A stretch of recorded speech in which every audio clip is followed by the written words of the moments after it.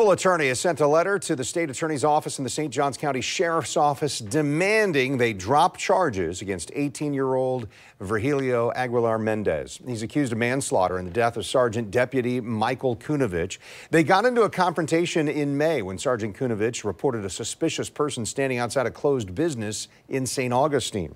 There was a struggle, and after trying to search him and detain Aguilar Mendez, Kunovich collapsed. He later died at the hospital.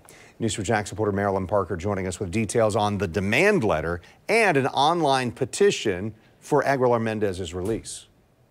In seven days, more than 450,000 people signed this petition for Vergilio Aguilar Mendez to be released.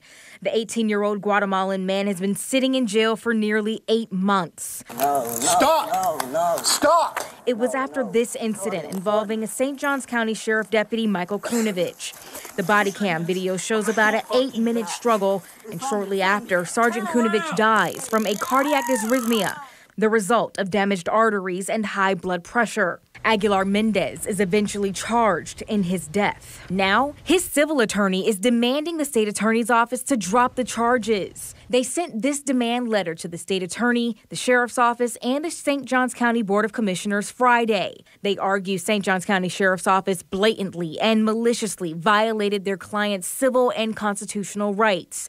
They accuse Sergeant Kunovich of racially profiling, saying he approached Aguilar Mendez solely because of his Hispanic Latino ethnicity, without any reasonable suspicion of any crime. They also say Kunovich illegally stopped him and immediately seized him. Stop. Based on the medical examiner's ruling on the cause of death, the attorneys say Sergeant Kunovich's irregular heartbeat was an unknown condition not foreseeable to anyone, and that Florida law enforcement officers are only required to undergo a medical exam before they become officers, but don't have to do yearly blood and stress tests to determine if their heart is strong enough to do the job. We asked the St. Johns County Sheriff's Office if their deputies have frequent medical checkups or physicals, and if so, how many a year.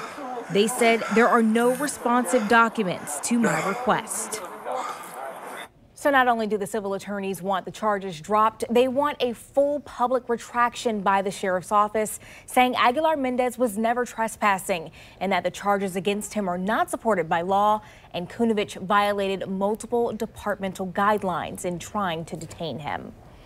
So, Marilyn, has there been any response from the sheriff's office or the state attorney about this case? So, I'm still waiting to hear back from the state attorney's office. However, the sheriff's office did let me know that they didn't want to respond to any correspondence from that attorney. Now, the demand letter said it would give them seven days to respond, and if they don't, the attorneys will file a federal lawsuit based on these civil rights violations, and of course, we'll be here to recover it all. Yeah, two sides to the story, and that's what we keep pursuing is what those sides are. Thank Absolutely. You, Thank you. Always. Thanks, Marilyn.